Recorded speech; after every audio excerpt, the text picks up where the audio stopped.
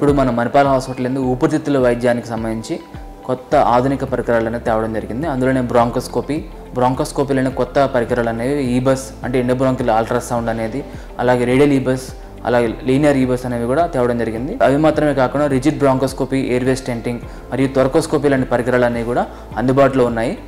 ముందుగా మనకి ఊపిరితిత్తుల సమస్యలు అనగానే ముందు మనకి దగ్గు ఆయాసం జ్వరం అలాగే ఛాతులు నొప్పి అనేది రావడం జరుగుతుంది. ఈ సమస్యలతో బాధపడినప్పుడు చాలామంది మనం కన్సల్ట్ అయినప్పుడు ఎక్స్రే కానీ సిటీ స్కాన్ కానీ తీయడం జరుగుతుంది. ఈ ఎక్స్రే కానీ సిటీ స్కాన్ కానీ తీసినప్పుడు మనకి కొంతవరకు సమస్య ఏంటనేది అర్థమవుతుంది.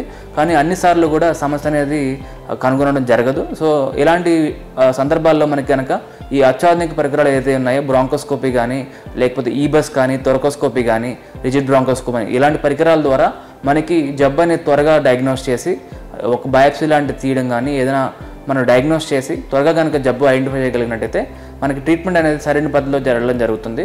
అందులో భాగంగానే మనకి ఈబస్ అనే ఒక పరికరం అనేది మన దగ్గర ఉంది.